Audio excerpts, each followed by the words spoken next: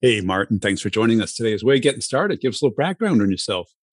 Hi, Brian. Thank, good to speak to you. Uh, my name is Martin Siddle, uh, and I've been selling uh, technology into the legal sector in here in the UK probably for the last 30 years.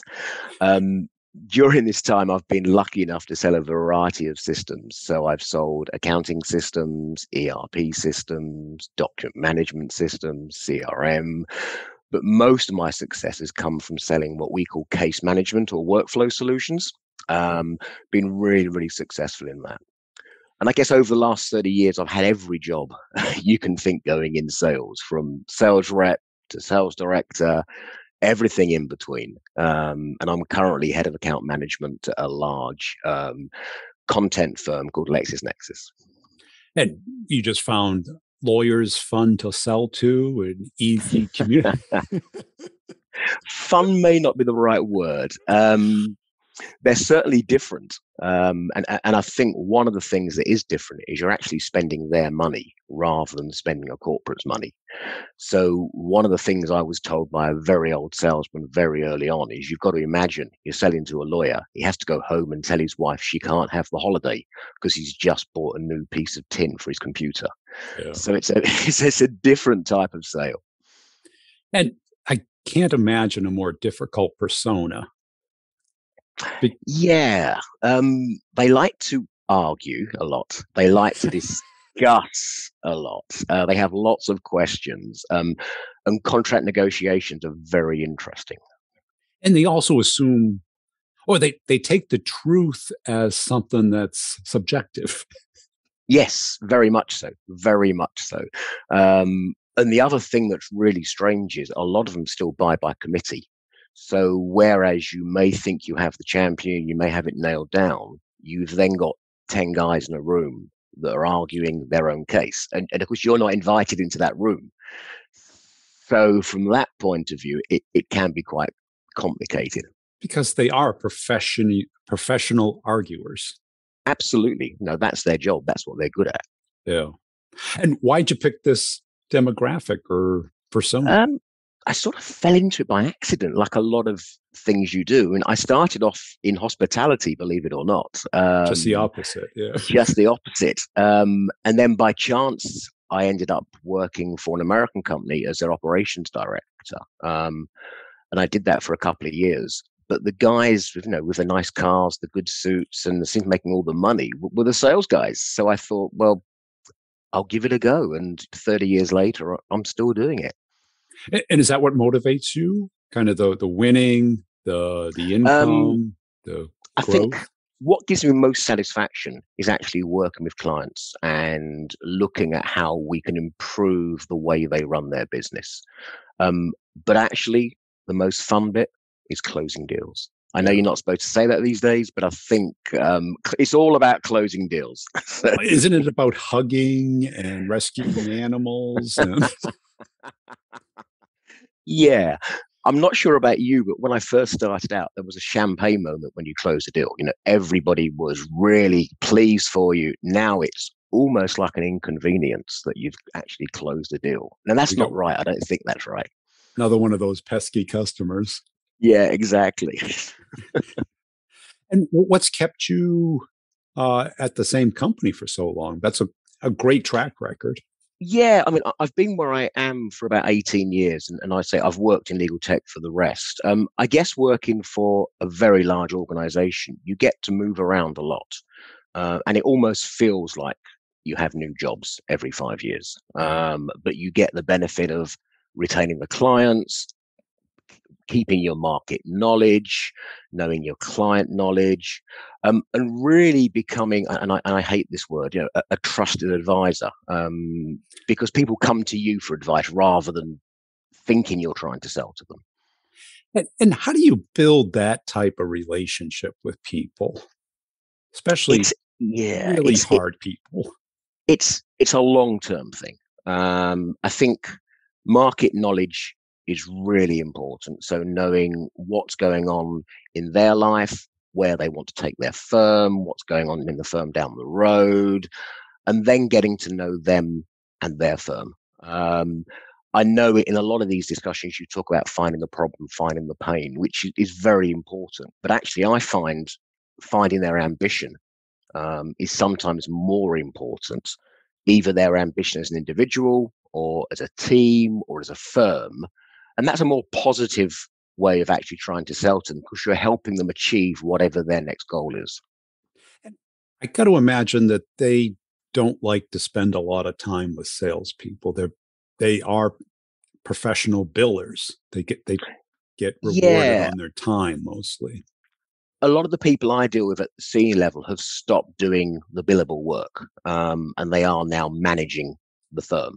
Yeah. So, and depending on the size or the level of firm, you can get to know them quite well. Uh, so, especially been doing it for so long. Um, and I think because I've built up a network of, of contacts, I can open most doors um, and, and I come with some value, which I think hopefully they appreciate. And what is that value? I think it's knowledge. Um, I think it's knowledge of how technology can help them improve their firm. It's knowledge of knowing what the guy down the road's doing. It's knowledge of knowing what's coming around the corner in the legal market they may not be aware of yet. So I can have intelligent conversations without looking like I'm just trying to sell them some more software. Yeah.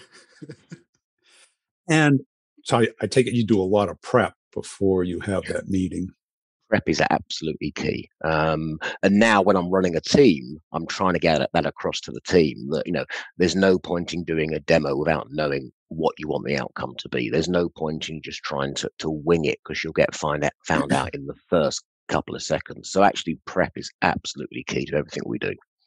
And what was your motivation to get into leadership instead of staying you probably could have done better as an individual contributor. Yeah, honestly, I'm not a very good manager. Um, um, I'll, t- I'll pause the recorder. no, my team know that. Um, they're, they're already aware. It's not news. what I really get out of it is the, the, mentoring and the training and helping them see their way through a sale, watching them grow, helping them achieve their personal targets and the team target.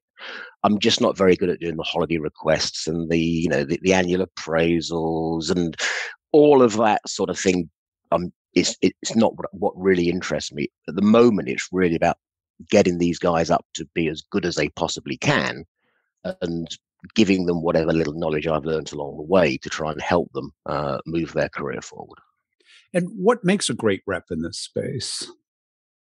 Um, persistence, um, empathy, um, product knowledge, um, and a willingness to work hard. You know, this is not a nine to five uh, job.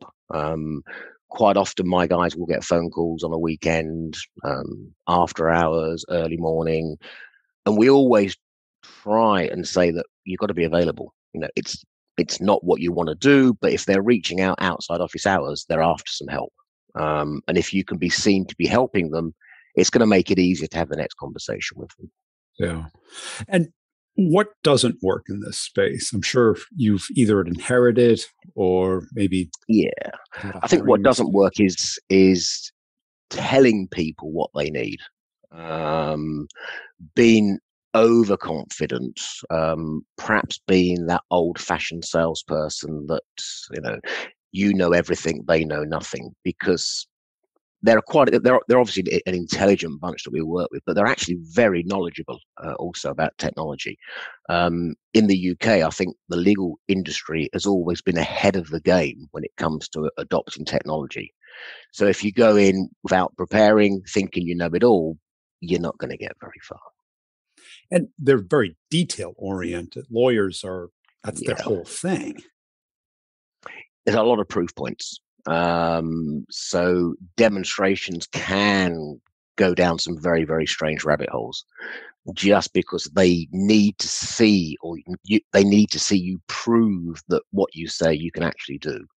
Um, it's in in big deals. It, it's not you know we, we often have half day demos or a, a whole day demo, um, yeah. and we tend repeating ourselves quite a lot. But it's I guess it's gaining their trust and, and it's showing that what we can walk the walk as, as well as talk the talk. And do they make decisions faster than if I t- if I if I tell you I had a conversation with an IT director that um, actually congratulated me because it had been eight years in the making. Now that's not normal. That's not normal. Um, typically, we can be six to twelve months um, from showing first interest to closing, but a lot of the the bigger de- deals um, can take years, um, yeah. and, and, a lot of them depend on where the firm is in their buying cycle. You know, if they're if they're doing a project X and that's taking a couple of million pounds and it's taking the same resource that you need to do your project, that project's going to take precedent. And you could be a couple of years while you're just keeping keeping them warm, keeping them interested, and then they'll come back to look at your project. So the key driver is to be more competitive than the person down the street. Is that? Yeah, and and I think it's it's been knowledgeable as well. Um, so seeing it from the client side, um, not rushing them into a decision. Now, this is a long game uh, yeah. for us, um, and having the right product. Um, unfortunately, lawyers can be a little bit led by the guy down the road. You know, it's the old saying, "You never got fired for buying an IBM." It's pretty typical in the legal industry as well. If there's a market leader, people will look at that first and they're less inclined to look at something else that may not be quite so well known. So they're thinking like the judge, right? They need yeah, so, yeah. social proof. exactly. An expert witness. And I does the buying cycle, I, I like in the US for partnerships, the buying cycle would be the end of the year so that they don't have to pay taxes on that money. Not so much, um, and especially with when you're dealing with partnerships. You know, the partner, as I said before, the partner's almost spending his own money, so he will purchase throughout the year. Um, and if he wants it, he'll tell the rest of the firm he's going to get it, and then they worry about how they're going to pay for it and how it's going to fit into their their over overarching structure. Um, so no, quite regularly, um, you know, we have good first quarter, which is January uh, quarter. Third quarter is always slow, which is summer holidays. Um, and, and Q3 is always a race to the line to do target. Yeah. And I got to assume they ghost you quite a bit. Yeah.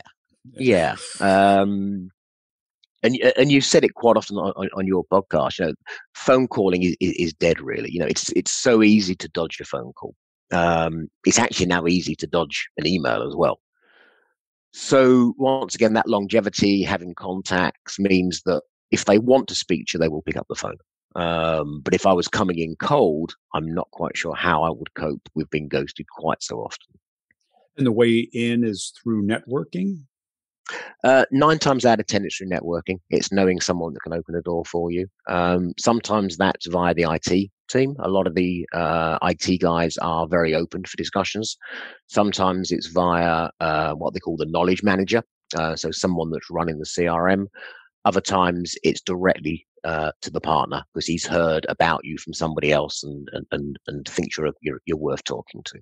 Yeah. And have you seen any? I don't know if you've ever sold in the U.S. or managed U.S. team. Is there much difference there? Or? Um, technology uptake in the legal market in the US is always been behind the UK. Um, a lot of the stuff that we sell is making lawyers more productive. Um, but obviously, in the US, if you're billing, you don't want to be too productive because the longer you take, the more you can money. bill. yeah. Um, now, it is changing. Uh, we are seeing a, a, lot of the US firms uh, adopting technology. In fact, they're probably sneaking ahead of the UK at the moment. Um, but a lot of law firms, the pressure they're getting from their clients is they have to be more transparent, they have to be cheaper, they have to do more for less, they have to make sure the right guy is doing the right piece of work. So you don't get a really expensive lawyer charging £400 an hour doing an admin job. So that that transparency is is driving the use of technology. Yeah. And how about as far as working for US companies? Have you worked for a UK company? I have. I my first organization uh, that I worked for in legal technology came out of Miami. Um, a company called Equitrac. Uh, yeah. They did the photocopy control devices. Um, really liked it. Um, I really like the, the American mentality. I, I like the work ethic. Um, I don't like the fact that they started at two o'clock my afternoon time. so, yeah. and, and they were still expecting me to work at eight o'clock UK time. But you sort of get used to that. Um, and I used to like uh, coming across to the US and, and seeing the UK sales, uh, sorry, the US sales guys. Um, there were some really, really good sales guys back in the day, and, and, and I learned a lot from them um, about hard work, about um, how to approach clients, um, how to have that perseverance on, on, chasing a case down. So, yeah, I, I really still enjoy working for US firms. And what do you look for when you're hiring? I take mm. You're probably in a hiring position sometimes. It's a really good, good question. Um, in fact, we've just hired somebody, and we had the usual inflow of CVs that were sales orientated. They've been doing the same thing, and and you look at it and you think it's a little bit tired. Maybe they're not as hungry as they once were. Uh, uh, how do we freshen this up? Um, so we sort of cast our net a bit a bit further. Um, we actually found uh, an attorney, what we call a barrister, um, somebody that had been actually stood in court um, for the last 15 years and she wanted to get out of uh, that and into sales. Um, we took a bit of a risk, but it's worked out so well. Um, and I think casting your wet not your net wider actually gives you a much better chance of finding some fresh uh, blood, some fresh impetus to actually bring different skills into the team. Um, I watched one of your podcasts when they when, when you were talking about hiring hospitality people, um, and I think that's a great shout because you've got a lot of empathy there. You've got a lot of hard work. They know how to deal with difficult customers. So I think perhaps you know if we were doing that again, we would look wider um, than, than perhaps we would have done a year ago. Yeah, I'd be. When I think of a lawyer, I think of somebody who really does a lot of administration, documents yeah. everything, really. And sales, eh, it's it's really you know getting that conversation started getting the dialogue going what what we found brian was the fact that the person i'm talking about had to stand in, in front of a judge litigator, um, and yeah, and and had to have all the evidence ready. Had to be very confident in front of the judge. Had to be very well prepared. And if somebody threw a curveball question at them, they had to have the answer. They had to think on their on their feet. Yeah. Um, and actually, that's come across really well. And and the ability to talk to strangers um, is something that, if you've never done it before, is quite a difficult skill to pick up and the person we hired absolutely had that skill. It was re- a really good decision. Yeah, I can certainly see the litigator part of it mm. uh, because that is selling. Absolutely, absolutely is selling. Because um, you're the beauty contest, your competitor is right next to you. yes. and you got to have the empathy. What are they going to say? Yeah. What's their yeah. case going to be? Yeah. And, and, and it's, it's you know, can you imagine a sales situation where you and your competitor are in the same room, having to demo at the same for time weeks. for weeks on end? Yeah. and you know, at least in the the U.S. legal system, there's this uh, discovery phase. Yeah. Yeah. Where there's paperwork going back and forth, questions, um, depositions. Yeah. So it is a complex sale. Absolutely, it is a complex sale, and you're dealing with a whole variety um, of, of people and third parties, and that's one of the complex things about selling into legal. You know, you don't actually sometimes you don't get to see the guy that's buying it. Um, you know, you're seeing the person that's going to use it, and you're impressing them, and you've got the IT guys on board, but the guy that's going to sign the check, sometimes they just won't let you near him. So you've got to find ways of of working around that, yeah. um, and, and and that's part of the skill. And how do you arm that IT person with the things that that senior partner who's going to sign it? I think that's where you find your coach, isn't it? That's where you actually are. You get to know them. You know what makes them tick. You know what makes them look good in the eyes of their superiors. Um, a lot of it is showing the benefits other firms have gained from the same system, be that cost savings, be that time savings, be that just being seen to be using modern technology. Um, so that's the, the way that we arm the people that are trying to sell up for us is, is to give them as much information as possible. Um, we always write our proposals almost as though they could be used as internal selling tools for the people we give them to. Um, so they're written in a way that is easy to read, not particularly sales language, right. and is always looking at what the firm is trying to achieve, how quickly they're going to get there, what are the what are the steps they've got to go through. So it almost, if, if you can't get to the right person, you give the person that's going to get there all of the ammunition they need. Do you have much influence of why now versus eventually? Sometimes, um, sometimes there's a burning bridge where um, you know we we have deadlines to meet. Sometimes it's a nice to have, um, which is always the difficult difficult sale. At the moment, we're seeing um, a rush to the cloud. Um, law firms want to be in the cloud tomorrow. So a lot of our sales are um, decisions being made. We're going to the cloud. It's going to be in six months' time. What do we need to do to get you guys on board? So that's a, a different sort of sell. That's almost been brought in after the decision's been made, um, and we don't have a lot of influence. We just have to stick to their timetable. And what's their motive to get to the cloud? Is it to remove the liability from their IT to yours? A lot of it is that yes um, and and sometimes it does feel like turkeys voting for christmas um, when it people are saying right i just want to get all all of this tin off my decks um, there's a big move in the uk to subscription rather than capital purchase um, and i think that's driven by uh, the finance people seeing that they can spread the costs, use different budgets. Um, so it's a combination of wanting to be seen to be leading edge, wanting to get off old hardware that perhaps is coming to the end of its five year uh, lease, and also finance thinking that spreading uh, an operational cost versus a capex is a good thing to do. And when you're talking to your team, how do you determine how real the deal is? Ah, I'm glad you asked this one. So, before I started, there was a very formal um, forecasting process in place. Um, and quite often the guys were asked, well, you know, you haven't got four or five times your pipeline. Go and go and fill up the forecast. You know um, works. Absolutely, absolutely. And and then four weeks later, there's too much in the forecast. Trim it back down. It yeah. Rub it.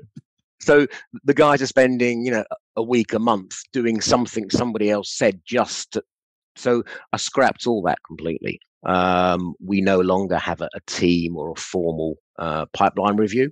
Um, we do that on a, a one-to-one basis. Um, we probably do it weekly. Um, I tell the guys to make sure that anything in the forecast is is real.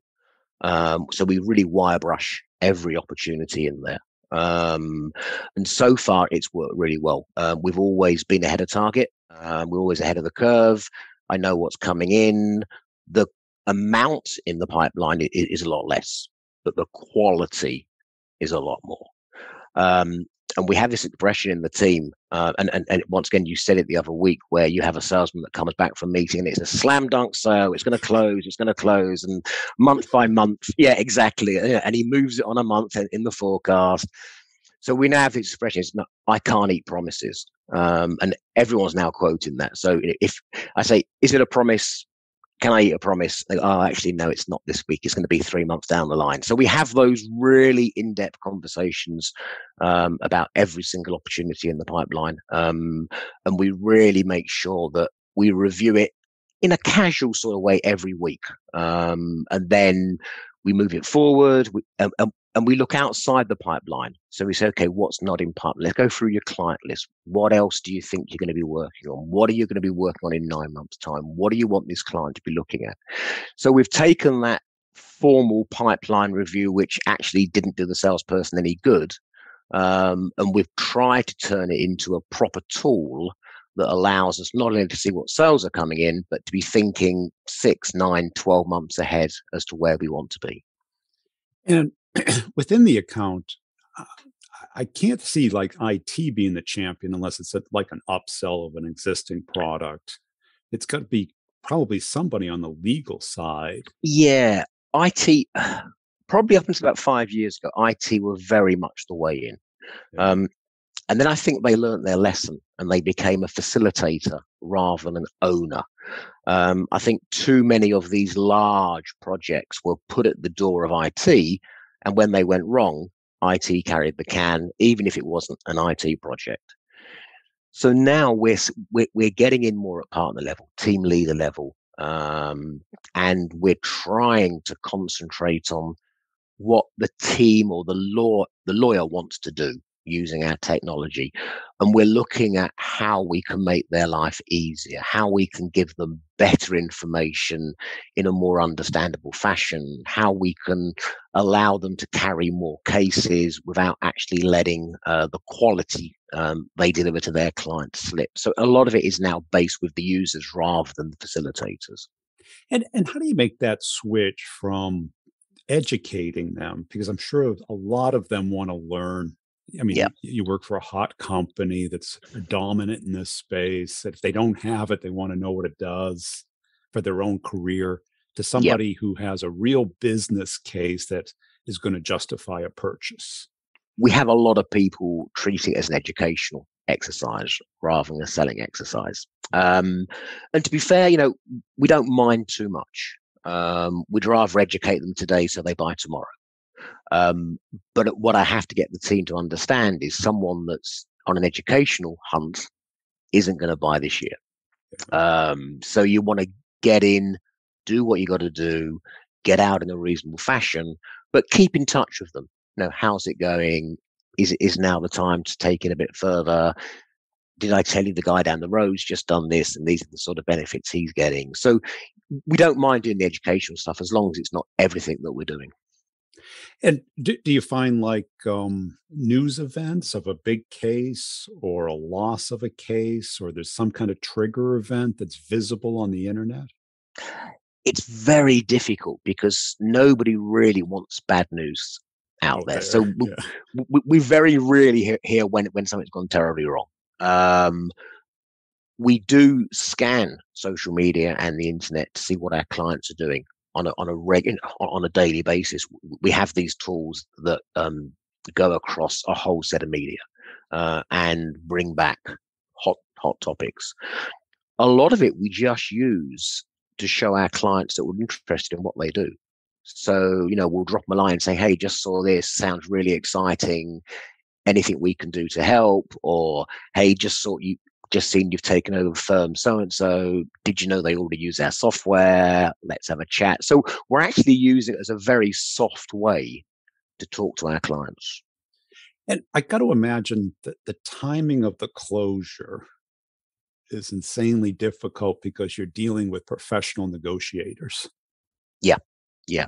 Um, the worst part, the worst part of the deal is when they say they want to do it and ask for the contract. Um, because a contract in our world will probably add eight weeks to the deal. Yeah.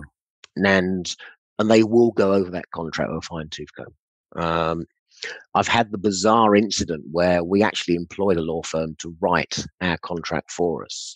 And then we sold to them and they rejected their own contract. too, it's too strong. too strong, exactly. That's exactly what he said. well, that's it because you know, like when you sell to us, I always sold to software companies. Yeah. So they know how software companies sell. Exactly. And the bigger the ones, and you're dealing at the C suite, they know your end of the quarter. They know because everyone plays the same games with them. They yeah. wait to the exact last minute, then they pull something out and they say, Well, can you give us five more points? It's not quite that bad. Um, we we try not to be that desperate salesperson at quarter end or year end. Um, we almost say, well, you know, if you don't want it this year, we're still going to be around. Just come back when you're ready. Um, there are times when you know a little bit of a pressure is applied, but they will only buy when they're ready. Uh, you know, we can influence them. We can take it so far, But at the end of the day, if they want to delay, we have to delay, which is why, say, being in, in, in it for the long term tends to help. Yeah. And what advice would you have for a young salesperson getting into selling into legal or into this kind of non selling technology into non-technical companies? Yeah. Um, I think it's know know your market. Absolutely know who you're selling to, know why they're buying. Um, know your clients. Um, really understand where they're coming from, what their ambitions are, um, and know your product. Um, there are a lot of people out there that take along someone to do the demo for them. They have no interest in the product. And they're the guys that are still scrabbling around trying to do deals. Know your product, be able to have an intelligent conversation with your clients about why what you've got will deliver benefits to them and always look for the benefits. Absolutely that, that's the key i think. Right because your product I, I remember a crm company that had technology people demonstrating it and a salesperson selling it and it was like yeah. The salesperson's the user. Absolutely if they yeah. can't figure out how to use it you're kind of admitting that it's complicated. Yeah, exactly, exactly that. And and yeah, you know what technical people are like. They want to go down to the nth degree of a technicality, and they lose the audience within. Point. Uh, yeah. So when we're doing demos, a lot of it is we're driving the guy doing the demo, and it's almost like demo, stop, explain, repeat. Demo, stop, explain, repeat, and making sure the audience is coming with you. Um, and I think they appreciate that. And, and the guys that we've got doing the demos are now really good at knowing do it in small chunks rather than going down a rabbit hole and there's no way back. Cool. Hey, really appreciate your time today, Martin. Where can people go to connect and follow you? Uh, I'm on LinkedIn, or you can email me at martin.siddle at lexisnexis.co.uk. Thanks, Brian. It's been a real pleasure talking to you.